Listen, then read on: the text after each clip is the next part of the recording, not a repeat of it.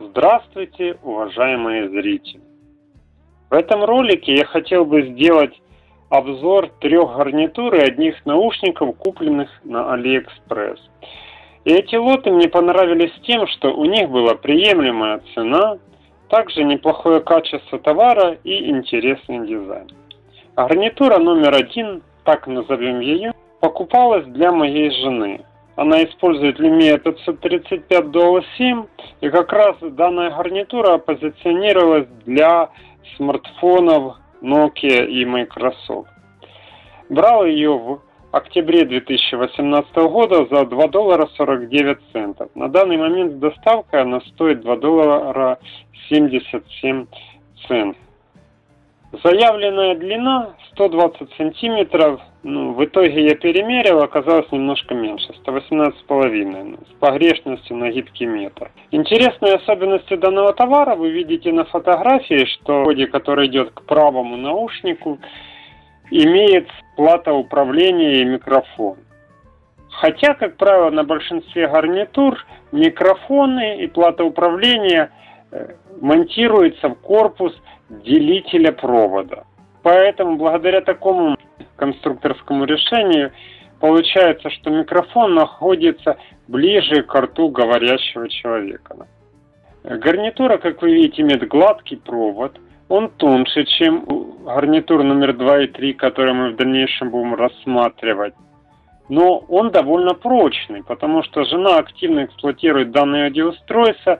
Даже есть перегиб немножко провода уже там возле входа в делитель. Но тем не менее наушники э, до сих пор оба работают. Ну и на следующей скриншоте вы как раз видите э, одни функци... возможности функциональной кнопки, когда их используют для просмотра или прослушивания какого-то контента. Одно нажатие остановка, двойное нажатие это переход к следующему треку, Тройное нажатие переход в конец списка. Гарнитура номер два покупалась в июле 2020 года за 1 доллар 86 центов. Данная посылка в Украину шла где-то месяц. Длина чуть больше 118 сантиметров. Как видно на иллюстрации, что данная гарнитура имеет не гладкий, а рельефный провод, который нанесен рисунок рельефный, нечто подобное на косичку. Также приятным бонусом для меня было, что э, с данным аудиостройством шли запасные ам амбушюры. Ну, или говоря по-простому, эти серые резиночки, которые видно на фотографии. Ведь когда ты потеряешь случайно, а такое бывает, то очень удобно, что есть запаска. Данная гарнитура шла хорошо упакованная, и заметьте, что здесь кроме кнопки управления есть еще ползунковый регулятор громкости, что э, возможно в некоторых ситуациях будет очень удобным, чтобы быстро изменить громкость. Звук довольно хороший, басы хорошо прослушиваются, впрочем, как и на первой гарнитуре. Гарнитура номер три.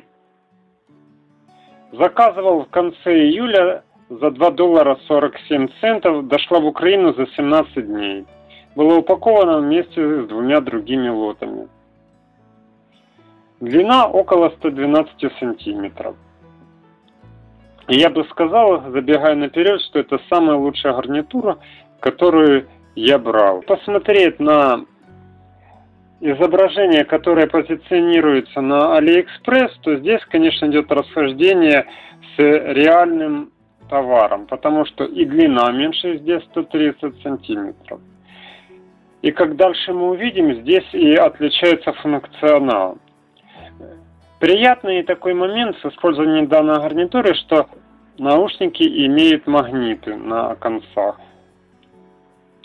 Ну и как я говорил, давайте рассмотрим картинки, которые были приложены на сайте к данной гарнитуре. То есть видим здесь и указаны, что и сзади есть на обороте кнопка делителя э, провода, и есть также э, регулятор, который переключается с американского на китайские стандарты.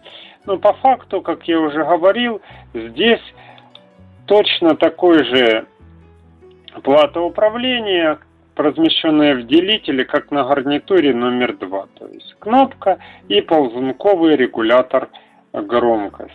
Также интересно я заметил, что э, продавец решил на сайте выделить устройство самого наушника. Ну, я думаю, может это и не лишним было, потому что звучание действительно такое самое качественное среди всех аудиоустройств, которые делаются в данном обзоре. Ну и стоит отметить, что как гарнитура номер 3 и номер 2, она имеет больший диаметр наушника по сравнению с гарнитурой номер один. Но в целом, как говорил, э, все три аудиоустройства довольно неплохо издают звук, в том числе низкие частоты. Последний лот, который мы нас рассмотрим, это наушники. Обыкновенные наушники без микрофона. Я искал себе такие, которые были бы прочные, потому что мне приходится постоянно с собой носить. Например, на работу я их, э, их беру с собой. И те, которые брал раньше, они месяц-два и уже выходят из строя, какой-то наушник перестает работать. И я увидел интересную модель, которую заказал в конце декабря 2018 года.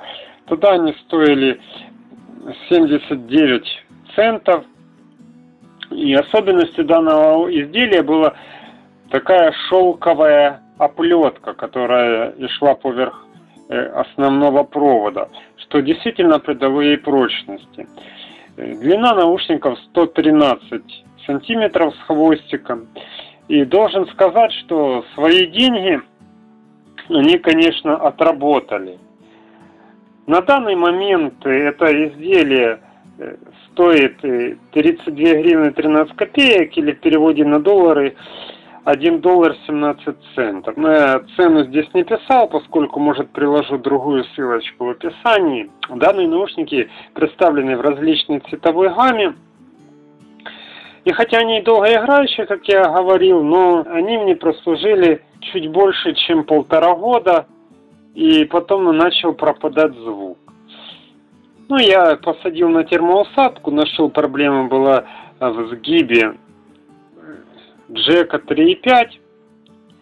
Они еще некоторое время поработали, и звук пропал совсем. Но это не проблема. Если вы умеете пользоваться паяльником, то можно купить и Джек 3, припаять, и они и дальше будут служить. Качество звучания, кстати, тоже у них неплохое. Басы тоже хорошо прослушиваются, но на максимальной громкости не рекомендую включать. Надеюсь, это видео было для вас полезным. Поделитесь своим мнением в комментариях. Также у меня есть на канал целый плейлист, в котором делаются обзоры товаров с Алиэкспресс. Спасибо за просмотр. До новых встреч на YouTube.